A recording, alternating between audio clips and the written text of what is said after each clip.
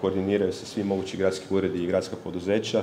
Kada smo postavljali rok od 1.7. rekli smo da je on ambiciozan, ali da je nužan kako bi se svi mobilizirali. Da smo tada stavili rok od godinu dana, onda bi ono opet došli ono, u situaciju da ne bi toliko toga napravili. Znači, jako puno se napravilo priprema, sve je u procesu, proces javne nabave u tijeku vezano za vrećice, pregovori sa trgovačkim lancima su isto tako u tijeku. Znači, za sada ostaje rok sedmi, ukoliko će biti potrebno ga produžiti, onda ćemo to napraviti.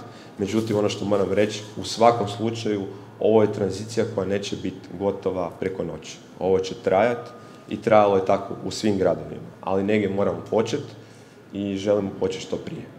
Prezentirali fiksnu naknadu i ona ostaje. I prezentirali smo odmah i variabilnu dio naknade, to je cijenu vrećica.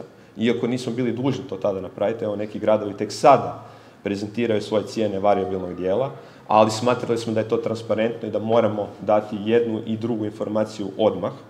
I unatoč tome što je došlo do inflacije od siječnja do danas, dosta velike, za ostaju i dalje cijene koje smo rekli za vrećice. Znači oni su poznate, to su 2 kune za vrećicu 10 litara, 4 kune za vrećicu 20 litara i 8 kuna za vrećicu 14 litara. Tri količine, tri veličine vrećice koje će se moći kupiti u trgovačkim, trgovačkim lancima.